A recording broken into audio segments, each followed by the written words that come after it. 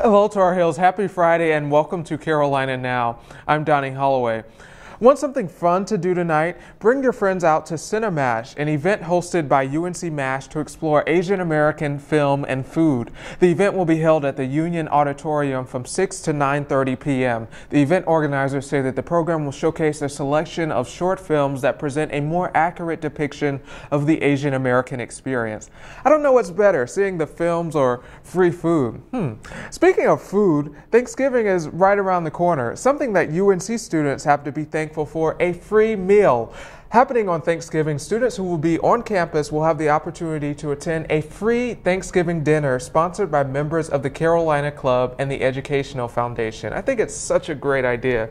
Joining me now to share more about this is Kyle Warner, one of the event organizers. So tell me a little bit more about this event. Absolutely. Well, thanks for having me on today, Donnie. So Tar Heel Thanksgiving is in its fifth year. So every year we provide a Thanksgiving meal for students who are remaining on campus for Thanksgiving. Yeah. So even though they can't be home with their families for the holiday, they still have the opportunity to have a meal, and it's free, completely covered for by members of the Carolina Club as well as members of the Educational Foundation. That's awesome. And now registration actually ended yesterday, but people can still come, right? That's right. So we've actually extended the deadline to register until midnight tonight. Yeah. So you can register online at bit.ly slash thanksunc. You'll find the form there, and you can register up until midnight tonight. Okay, cool. And you still have a week for the preparations, getting all this together. You think you're going to get any sleep between now and then? Yeah, I'm hoping so. Um, we have um, a good staff at the Carolina Club yeah. that is helping with this. We're also still looking for some volunteers. So if you are remaining on campus for Thanksgiving, Thanksgiving I would encourage you to um, help volunteer with signing in, um, kind of directing students as they come for the meal. We're looking to have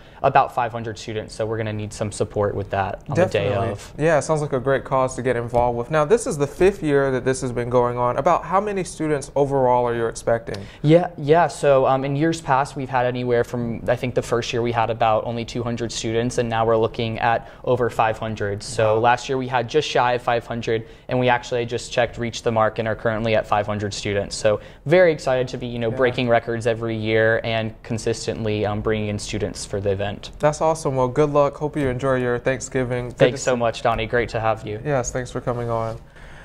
All right, and uh, for more, we'll go now uh, to our weather. Uh, the temperature is currently 53 degrees, so you'll probably want to bring a jacket as you head out. Expect sunny skies and a 0% chance of precipitation. The overnight low will be 36. And for more about this weekend, let's go to Kimothy Jones. An exciting time for Roy Williams. But first, tell us about his win. Uh, Kimothy? Thanks, Donnie. Carolina basketball head coach Roy Williams has reached a milestone here at UNC. Though the Hall of Fame coach has over 800 wins on his resume, he won his 400th game as Carolina head coach on Wednesday night in the Smith Center. This makes Williams the first coach in NCAA basketball history to win 400 games at two different schools. As most may know, Williams served as Kansas head coach from 1989 to 2003. How did Carolina get Williams his 400th win, you ask? They did it with a 93 81 victory over Bucknell on Wednesday. The Bison never led, but proved to be a small test for the Heels as Carolina was not able to pull away until the final four minutes. Joel Berry was a little rusty seeing his first game action of the season, going only 1 for 11 from the field, but he did dish out six assists. Theo Pinson and Luke Maye were able to pick up the scoring slack, however. Pinson chipped in with a career high 19 points, and Maye led the Heels for the second straight game with 20 points while pulling down nine boards.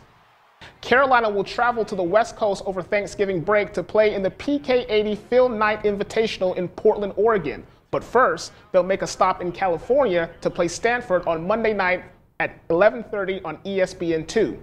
Also, the Carolina football team will be playing their last home game of the season against Western Carolina on Senior Day. Come out early as the team will be recognizing the seniors for their four-year contribution to Tar Heel football.